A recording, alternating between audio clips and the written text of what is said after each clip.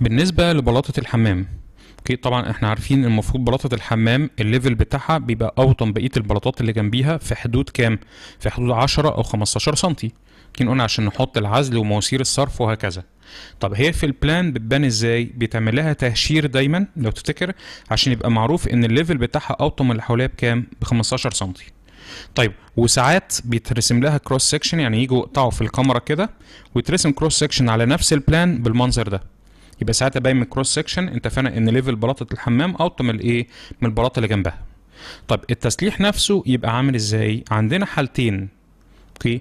يا إما ناخد بلاطة الحمام simple لوحدها وخد بالك في الحالة دي يعني البلاطة دي تبقى دي simple ودي simple أساس إن في فرق level بينهم يعني في هواء طب لو أنا خدت الشريحة دي simple والشريحة دي simple يعني ما حطيتش negative بين البلاطتين فكر البلاطتين دول لما يتحط عليهم load مش هيحصل لهم deflection طيب بس أنا حاليا دلوقتي ما حطيتش negative لا هنا ولا هنا. يوصل لي بين البلاطتين مع بعض. فبالتالي متوقع إيه اللي يحصل؟ طبعا الخرسانة تشرخ الناحية دي والناحية دي وكل واحدة فيهم تشتغل simple طب هو الحل ده غلط؟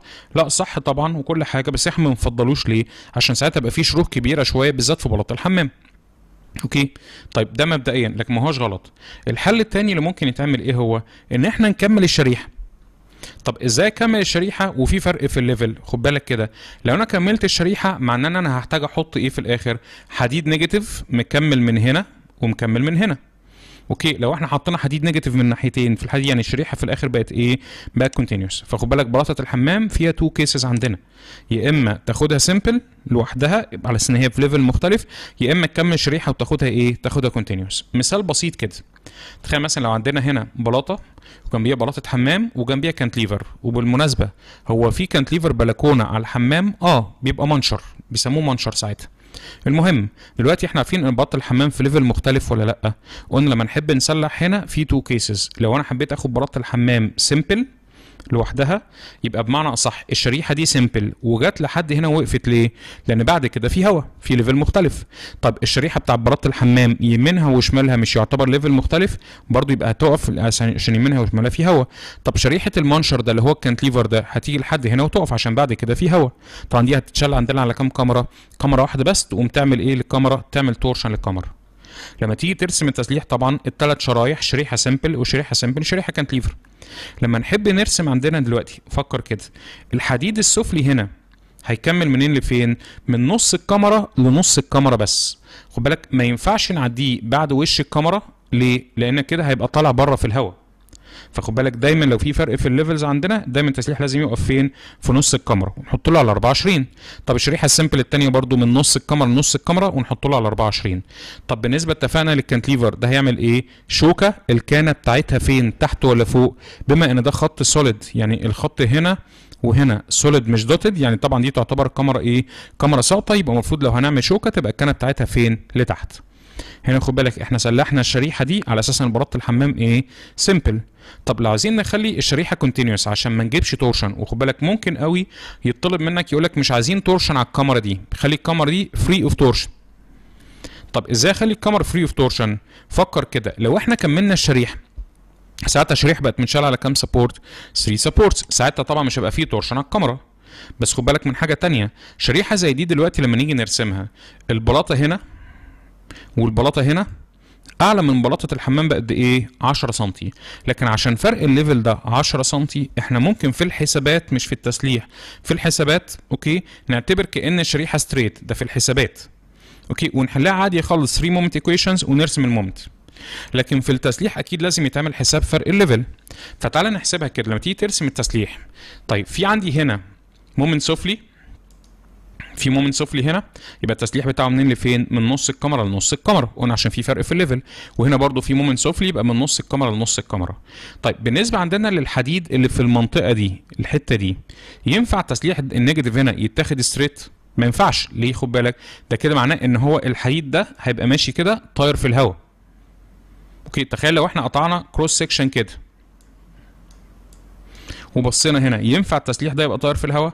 لا طبعا ساعتها هتضطر تعمل إيه؟ أنا محتاج أحط حديد negative يعني بمعنى صح يتمد من الناحية دي اللي على أربعة ويتمد من الناحية دي كمان كام؟ اللي على أربعة. طيب فاكرين قلنا إيه اللي هيحصل لل cover في المنطقة دي؟ ال cover هنا هيتكسر ماشي عشان ده عليه tension فبالتالي محتاجين نعمل إيه هنا فيونكه طب فيونكه ولا مقص الحتة الضيقة دي يفضل إيه طبعا يفضل تتعمل فيونكه فخد بالك يبقى لما تيجي ترسم هنا التفصيلة في فرق في level البلاطات يبقى التسليح هنا اللي هو يتمد إلا على 4 ينزل في حدود 10 سم هو فرق level ويعمل فيونكه ويكمل إلا على 4 برضه. طب وعشان ما نتلخبطش هو التسليح ده صح ولا ده صح؟ مين فيهم اللي صح؟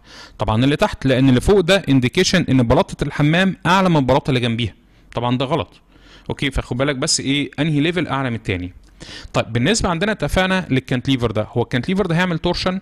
قلنا لأ ليه؟ قلنا عشان خلاص الشريحة متشالة على أكتر من كمرة. أو بمعنى صح عشان ال moment ده اتقلب على البلاطه اللي وراه. فبالتالي مفيش torsion هيروح على الكمرة.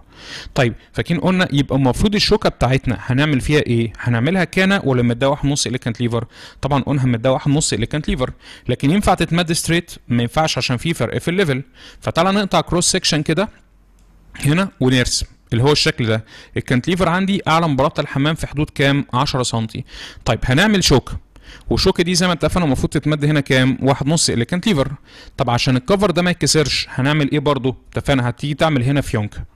يبقى خد بالك المفروض هنعمل شوكة وننزل 10 سم نعمل فيونكة ونمدها واحد ونص ال cantilever الكلام ده لو إحنا اتفقنا مش عايزين نعمل torsion على الكمرة أو بمعنى أصح هناخد شريحة بلاطه الحمام إيه؟ continuous مش simple طيب في الكلية إحنا بنستسهل وبناخدها إيه؟ simple عشان أسهل.